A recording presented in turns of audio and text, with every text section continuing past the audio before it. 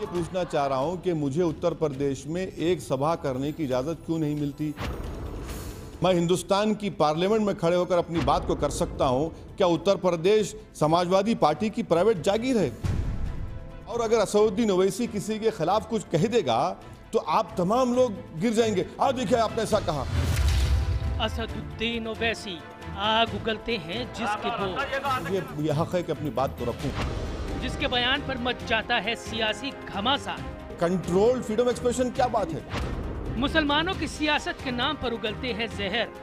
हर मुद्दे पर टांग अड़ाना इनकी खूबी है। मैं आपके सामने कह रहा हूँ उनको मैं एक्सपोज करूँगा। ओवैसी ने किया था याकूब मेमन की फांसी का विरोध।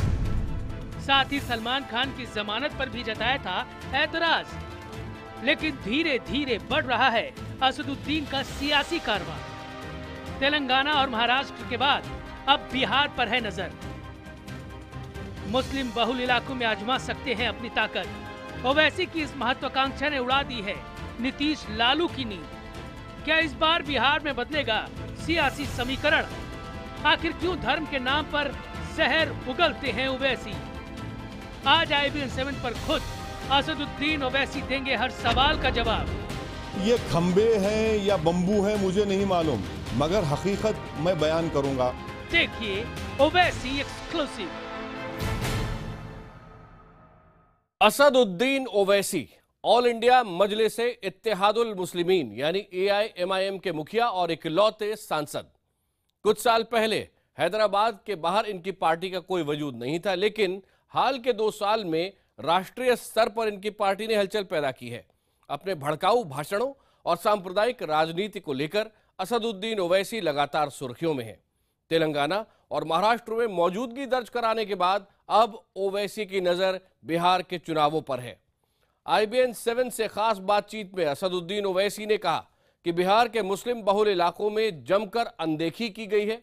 साथ ही उनका दावा है कि बिहार में उनकी पार्टी के चुनाव लड़ने पर भले ही उन्होंने फैसला नहीं किया हो, लेकिन उनकी सिर्फ़ एक रैली ने लालू यादव और नीतीश कुमार की नींद उड़ा दी है। देखिए असदुद्दीन ओवैसी के साथ ये एक्सक्लूसिव इंटरव्यू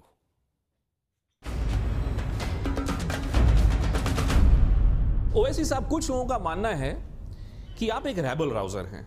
आप एक ऐसे व्यक्ति हैं जो लोगों को भड़काते हैं।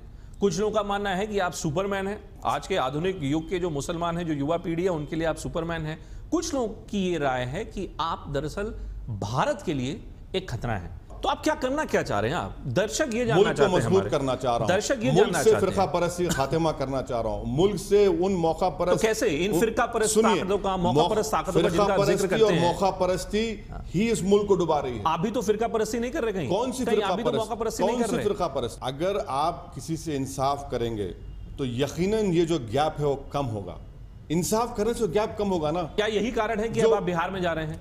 क्या यही कारण है कि आपने किशनगंज में जाके इतनी बड़ी रैली की? किशनगंज में मैं शुक्रगुजार हूँ किशनगंज की आवाम का कि मुझे भी उम्मीद नहीं थी कि लाखों की तादाद में लोग निकल कर आएँगे।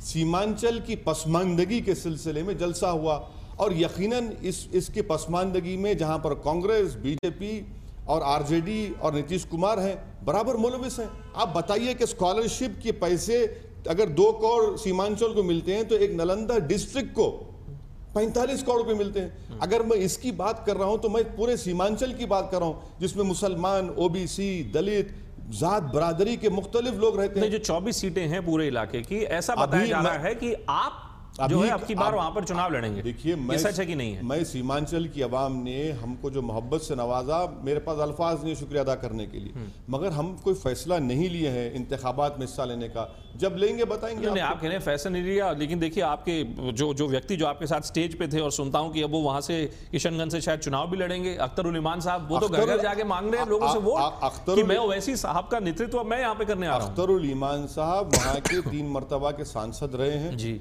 मकबूल लीडर हैं और वो आरजेडी, जेडीयू, कांग्रेस सबसे उनका रास्ता रह चुका है, आप भी जानते हैं। वो और उनकी टीम ने बड़ी मेहनत की है। हमारी पार्टी ने अभी तक तो कोई फैसला नहीं लिया है। रहा सवाल बिहार में हम क्या करने जा रहे हैं? आपको ज़रूर मालूम होगा। इतनी जल्दी क्यों है सब? किशनगंज में जो आपने रैली की उसी प्रकार से हो सकता है आप आगे चल के मुजफ्फरनगर में उत्तर प्रदेश में आप रैली करें या मेरठ में करें बागपत में करें आजमगढ़ में करें। लोग सुनता हूँ कि आप करना भी चाह रहे थे लेकिन आपको प्रशासन मैं ये पूछना- इजाज़त नहीं मैं ये पूछना चाह रहा हूँ कि मुझे उत्तर प्रदेश में एक सभा करने की इजाज़त क्यों नहीं मिलती? क्योंकि डर है कि आप- सुनिए आप भड़काऊ भाषण मैं हिंदुस्तान की भड़काएँगे। मैं हिंदुस्तान की पार्लियामेंट में खड़े होकर अपनी बात को कर सकता हूँ। क्या उत्तर प्रदेश समाजवादी पार्टी की प्राइवेट जागीर है? बेंगलुरु में मैं इलेक्शन लड़ रहा हूँ मेरे कैंडिडेट्स हैं और सिद्धारामैया को इतना खौफ है कि एक पब्लिक मीटिंग करने की इजाज़त नहीं देते नहीं सर, मैं बताऊँ ये फ्रीडम ऑफ़ एक्सप्रेशन है। नहीं, नहीं, मैं अगर और अगर असउद्दीन ओवैसी किसी के खिलाफ कुछ कह देगा तो आप तमाम लोग गिर जाएँगे। आ देखिए आपने ऐसा कहा। देखिए, आज कहाँ गया सब ये? मैं इसलिए कह रहा हूँ देखिए मेरी बात आपको पसंद नहीं है मगर मुझे यह हक है कि अपनी बात को रखूँ।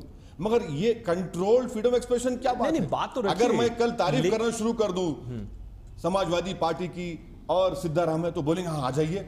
ये नहीं हो सकता। मैं आपके सामने कह रहा हूँ कि यकीनन मैं ऐसी बातें कहूँगा और कहते रहेंगे। जिससे उनको मैं एक्सपोज करूँगा।